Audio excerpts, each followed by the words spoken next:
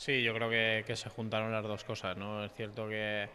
salimos un poquito menos enchufados de lo que es habitual y, bueno, y el Valladolid pues sabía que era uno de los partidos más importantes del año y, y bueno, pues salieron mucho más fuerte que nosotros y se nos puso la cosa muy cuesta arriba y fue, fue imposible ya darle la vuelta por ese mal inicio.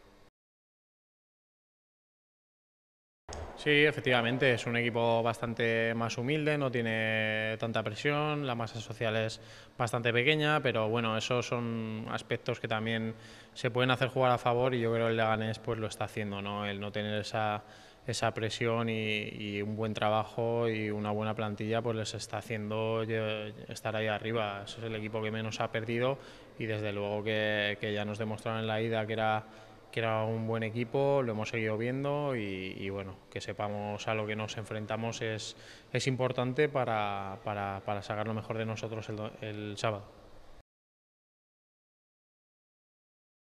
Bueno, a ver, eh, en principio está claro que el, rival es importante, pero lo que tenemos que fijarnos es en, nosotros mismos. Sabemos que cuando, que cuando competimos al, al 100% somos un, equipo muy potente y al final es más importante el, estar nosotros con el, con el punto de activación óptimo y, y,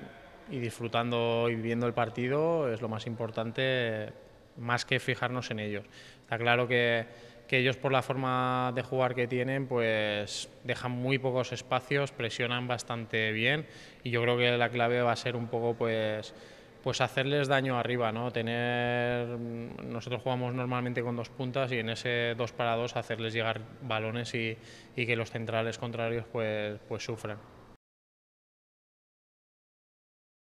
Sí, a ver, ya sabemos que esto es lo habitual en, a lo largo del año, que siempre va habiendo sanciones, va habiendo lesiones y al final yo creo que, que normalmente cuando ha habido bajas siempre ha salido un compañero que lo ha hecho fenomenal y, este fin de semana pues, pues, lo mismo, confiar en todo el mundo para, para darles, para que ellos también estén a gusto, si no, si no son los más habituales jugando, por lo menos que darles esa confianza por nuestra parte y que se sientan cómodos en el campo para que den lo mejor.